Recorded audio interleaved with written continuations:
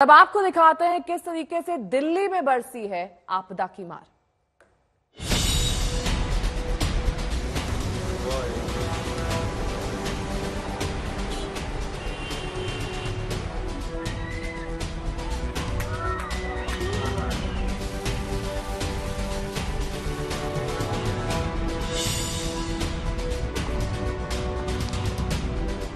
मौसम का red alert, बारिश का अटैक।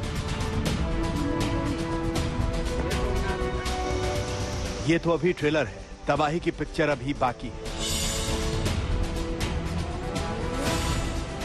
ये बारिश लाएगी बर्बादी वाली सुनामी दिल्ली एनसीआर में जल तांडव का सितम।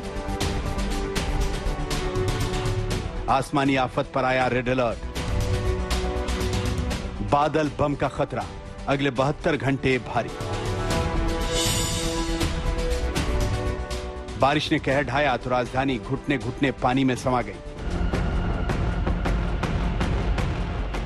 कुदरत के आगे यह इंसानी सरेंडर है। एक दो नहीं, बल्कि कई इलाके इस वक्त गरजते बादल और बरसते पानी की कहर से कब्जे में। यह तबाही का ट्रेलर है। अगले बहत्तर घंटे देश की राजधानी पर बहुत भारी है। मौसम विभाग ने रेड अलर्ट जारी कर दिया है। यानी आसमान से बरस रही आफत हाहाकार मचाने को तैयार है। बाढ़, बारिश वाला आफतकाल दिल्ली पर कितना भारी है, आप तबाही के मंजर से समझिए। बारिश ने तोड़ा 41 साल का रिकॉर्ड।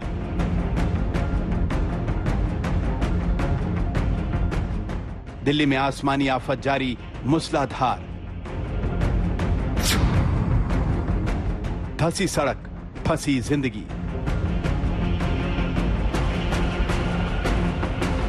रोहिणी की रेड लाइट पर 20 फीट लंबी और 20 फीट चौड़ी सड़क धंसी। बैरिकेडिंग कर सड़क को किया गया बंद। सड़कों पर तैरते दिखे वाहन।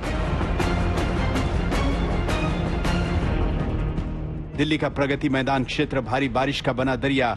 सड़कों और चौराहों पर तैरते दिखे वाहन।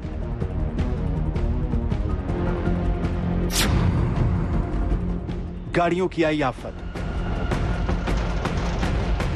दिल्ली के निजामुद्दीन में बारिश और जल जमाव सड़कों पर भरे पानी में फंसी कई गाड़ियाँ। पानी भरा, स्कूल बंद। बारिश से नोएडा, गाजियाबाद, दिल्ली, गुरुग्राम के स्कूल बंद कर दिए गए। घर बना स्विमिंग पूल। गाजियाबाद में भारी बारिश के चलते इलाकों में भारी जल जमाव आठ से दस फुट ज़्यादा भरा पानी लोगों के घर डूबे। हरियाणा के हथनी कुंड बैराज से लगभग एक लाख क्यूसेक पानी छोड़ा गया है, जिसके बाद जो यमुना का जल स्तर है, वो लगातार बढ़ता जा रहा है। यानी आने वाले दिनों में यमुना का जल स्तर और बढ़ेगा और यमुना खतरे के निशान से आने वाले कुछ दिनों में ऊपर होगी। ऐसे में दिल्ली के निचले इलाकों में बाढ़ का खतरा वो मंडराता रहेगा। मौसम का सितम ऐसा कि ना तो मंदिर बच रहे हैं, ना ही शिवाला